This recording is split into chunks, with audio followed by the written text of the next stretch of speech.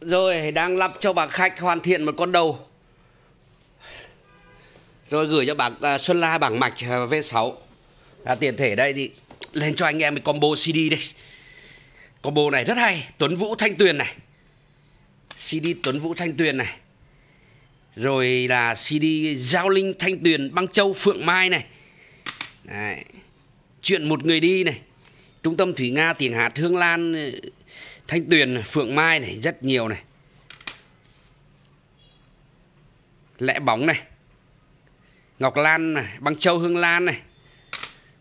Toàn CD hay, Hương Lan, Giao Linh, Hà Duy. Chuyển tình Dợ Giang. New Way ờ, Người đẹp Bình Dương này. Toàn bài hay này. Liên khúc chuyện Hoa Sim, Tuấn Vũ.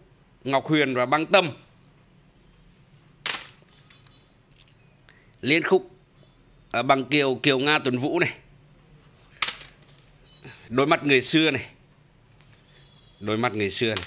Tuấn Vũ Giao Linh Đỉnh Đám Hồn Trinh Nữ Thanh Tuyền Giao Linh và Hương Lan này. Em sắp về chưa? Tiếng hạt Giao Linh và Tuấn Vũ này.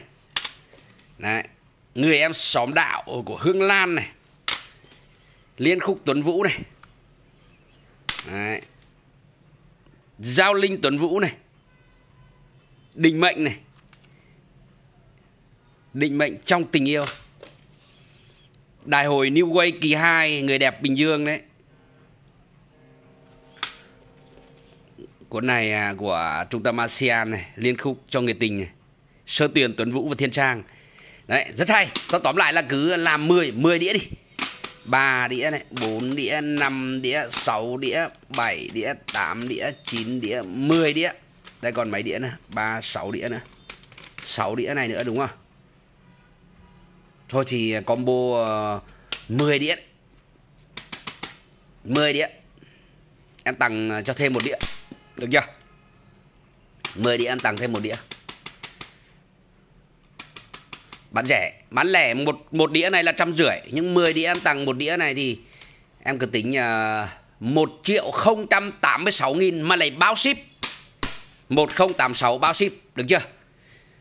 Còn nếu anh em lấy thêm 5 đĩa này nữa tức là combo 15 đĩa này đi tính 15 đĩa 15 đĩa tăng một là 16 đĩa thì em là tính cho anh em ờ, uh, chiều rưỡi.